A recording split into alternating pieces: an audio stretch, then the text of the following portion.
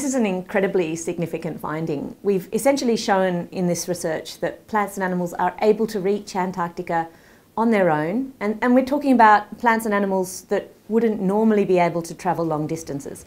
Antarctica is biologically isolated. But here we found floating kelp washed up on an Antarctic beach that shouldn't be there. It shouldn't be there and it shouldn't have been able to get there. So the kelp that we found is a large species. It can grow up to 12 metres length and it contains many other creatures inside it that have burrowed in. And when the kelp breaks off and drifts away across the ocean, it carries these communities with it. So you can have diverse invertebrate species, um, other algae, bryozoa, all sorts of things living inside that kelp holdfast as they drift for thousands of kilometres across the ocean. So uh, in this research we've combined biological data with oceanographic information to try to find out how on earth it was able to reach Antarctic shores. And so we thought it would be relatively easy for a piece of kelp to get stuck in an eddy uh, and taken southwards towards Antarctica. And so we did some modelling to try and test this. Um, so we released 4 million virtual kelp released from each sub-Antarctic island. Um, and much to our surprise, we found that actually these kelp couldn't get to Antarctica.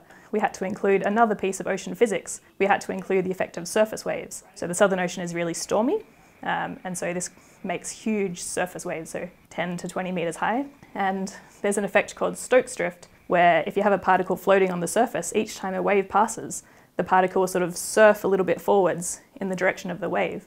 And when you include this effect, uh, it's actually relatively easy to get particles to Antarctica. This research is essentially the culmination of more than a decade of work on this kelp species. We have samples from throughout where the kelp grows and we now have really powerful genomic tools that allow us to pinpoint exactly where the kelp that we found in Antarctica had come from.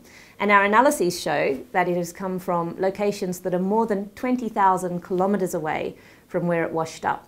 One of the reasons this is significant is that uh, the climate is warming and Antarctica has some of the fastest warming regions on the planet.